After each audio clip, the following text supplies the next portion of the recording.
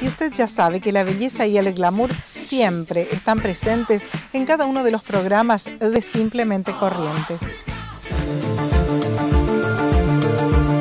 ¿Qué tal? Bienvenidos en Peatonal Junín, siempre con los últimos lanzamientos en maquillaje y fragancias. ¿Qué mostramos esta semana? Esta semana vamos a, eh, vamos a mostrar la última incorporación, la línea Pupa, una marca italiana de maquillaje. ¿Qué incluye qué, por ejemplo, una pupa? Una pupa de maquillaje incluye todo lo que una mujer necesita tener para estar divina siempre, como ser sombras, labiales, rubores, máscara de pestañas, un set totalmente completo para estar perfecta. Eso incluye los colores de la nueva temporada, seguramente. Sí, por supuesto, hay distinta variedad de colores.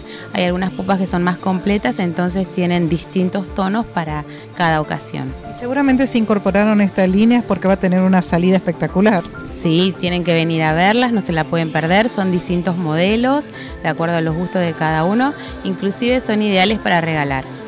Si a una pupa le incorporamos una fragancia, ¿qué sugerís?